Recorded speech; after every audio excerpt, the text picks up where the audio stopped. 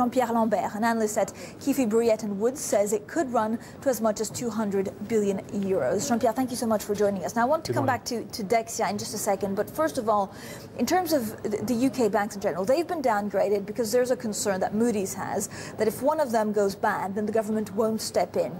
Is this a concern that we should also have for some of the European banks, that if, if we have a real problem, they will just let it go, cr- creating a, a Lehman Brothers type effect? Well, I think uh, we have to distinguish uh, between, uh, you know, letting go back. I don't think a government will want to do that, but they will want to address the issue. And what we see is that the public deficit is a constraint for the governments to activate uh, the mechanism they could take to uh, save the banks or to keep them as they are.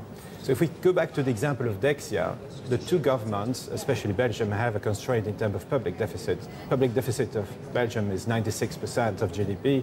France is 86. There's more scope. But obviously, they can't do the same thing as they did in 2008. And what we see here is a dismantling of the bank uh, to, uh, to uh, keep the customers up, alive yeah. and shore up and, and keep the deposits there. But if you look at the French banks as well, over the last few weeks, they've announced deleveraging, Yeah. which is another way to prop up capital. But so let me ask, first of all, on Dexia, what do you see happening? Are we going to see a sovereign wealth fund possibly from the Middle East coming in and buying some of the more healthy assets? And what happens to this bad bank?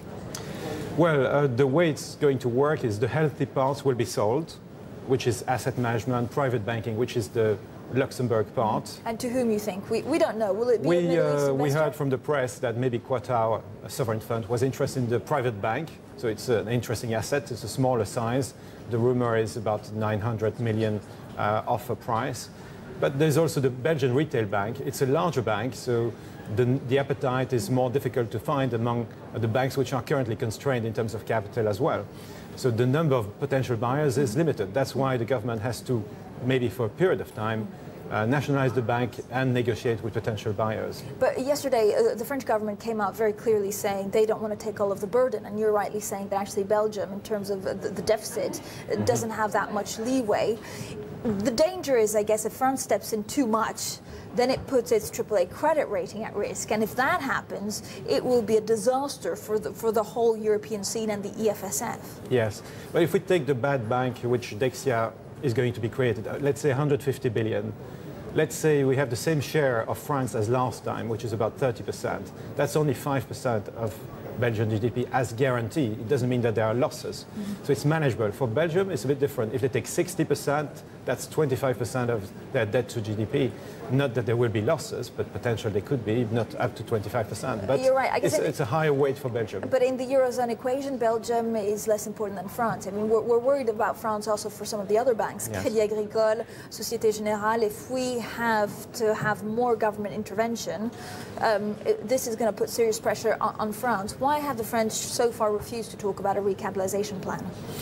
Well, clearly, if you look at the debt to GDP among the AAA countries, France is, has the highest level of debt to GDP uh, compared to the, all the Eurozone uh, countries. So obviously they're aware of this and they will want to use sparingly the capital injections, if any, to the banks. So currently there are no losses for the French banks. French banks are in relatively good condition.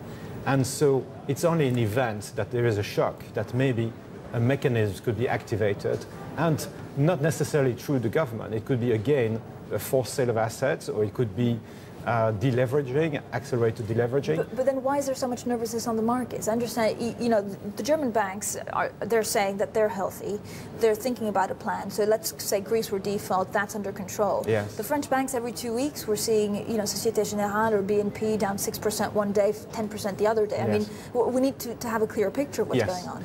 What's happening here is that uh, the French banks have the largest exposure to the euro periphery. They account for about 36% of the total euro periphery debt, if you, if you include uh, Belgium in that case. And in terms of percentage of NAV, they have about, I mean, BNP has a, something like uh, 40% uh, exposure to Italy, so that's a big chunk. Same with Crédit Agricole, 35%.